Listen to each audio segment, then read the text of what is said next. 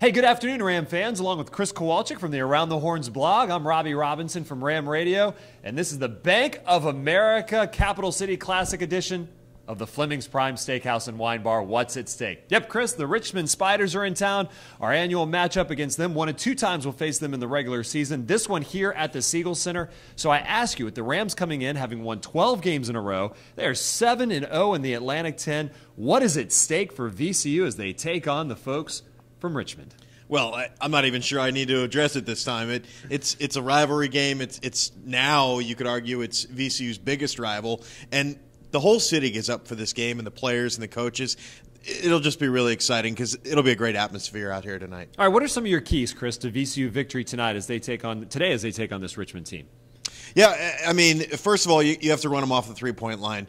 They've been streaky at the three point line. When they've shot it well, they've played extremely well. They, they shot it really well against Davidson, made 14 threes, and, and blew their doors off a little bit. Shot it really well against Duquesne and blew their doors off. In the games they haven't shot it as well, they haven't, they haven't played as well. Uh, also, the atmosphere needs to be great in here tonight. Richmond has not played well on the road this year. They're 0 7 on the road. Hopefully, 0 8 after this.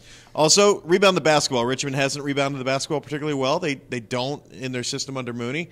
So you got to make sure you stay on the glass and don't let them turn that into an advantage. All right, lots to absorb as the Rams take on Richmond. The bottom line is you kind of throw the records out the window when these two teams play. It's always an entertaining game between Richmond and VCU. You do. They'll be up for it. All right. That's Chris Kowalczyk. I'm Robbie Robinson. This has been the Fleming's Prime Steakhouse and Wine Bar. What's at steak? Everybody enjoy the Bank of America Capital City Classic this afternoon here at the Siegel Center.